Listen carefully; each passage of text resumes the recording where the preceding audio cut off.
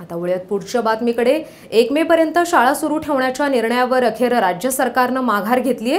सर्वच बाजूंनी टीकेची झोड आणि नाराजी व्यक्त झाल्यानंतर शिक्षण मंत्री विनोद तावडे यांनी हा निर्णय मागे घेतल्याची घोषणा विधान परिषदेत केली आहे राज्यातील सर्व शाळांमध्ये मोठ्या सुट्ट्यांच्या संदर्भात सुसूत्रता राहावी तसेच दीर्घकालीन सुट्ट्यांचा अवधी ठरवण्याच्या उद्देशाने राज्य विद्या प्राधिकरणाने हा निर्णय घेतला होता.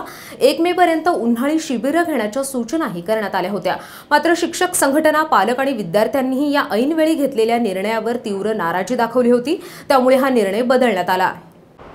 दोन दिवसापूर्वी शासनानं जो सुट्टीच्या कालावधीमध्ये विद्यार्थ्यांना शाळेत बोलवण्याचा निर्णय घेतलेला होता तो नुकताच समजलेल्या बातमीवरून माननीय शिक्षण मंत्री महोदयांनी निर्णय मागं घेतला आहे हे लक्षात आलं. खरोखरच अगदी योग्य निर्णय त्यांनी घेतला आहे असं म्हणावं लागेल. कारण एकूणच विद्यार्थ्यांची भूमिका आणि त्याचबरोबर शिक्षकांची मतं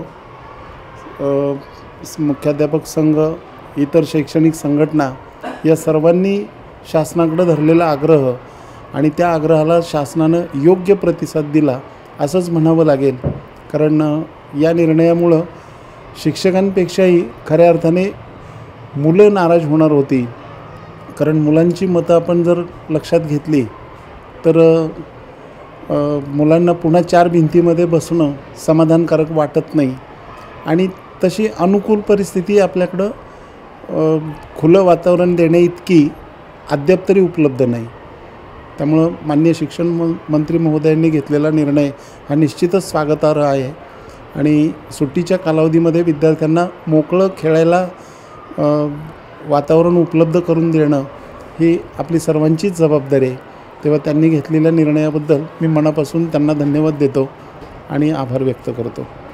दरम्यान ज्यावेळी एक मे पर्यंत शाळा सुरू राहील हा निर्णय झाला त्यावेळी विद्यार्थ्यांची मनं आम्ही जाणून घेतली. पाहूयात.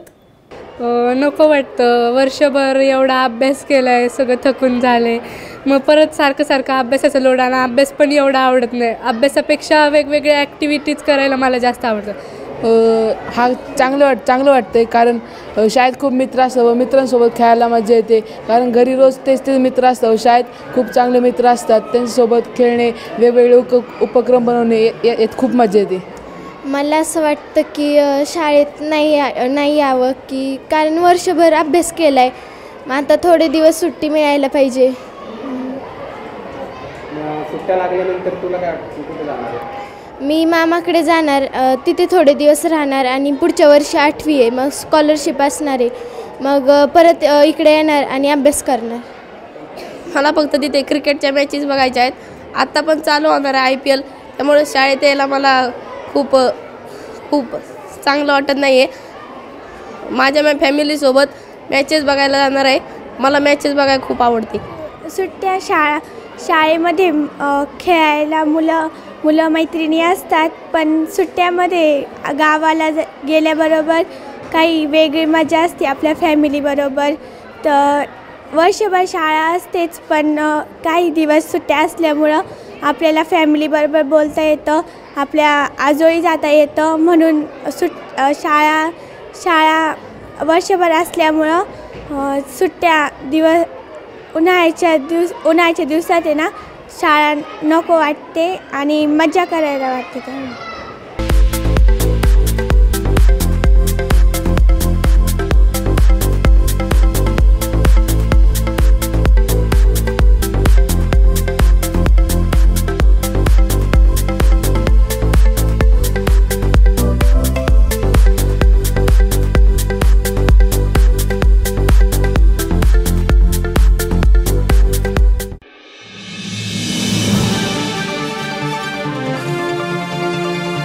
संवाद लाईव्ह टीव्ही आपला विश्वास आपलं चॅनल.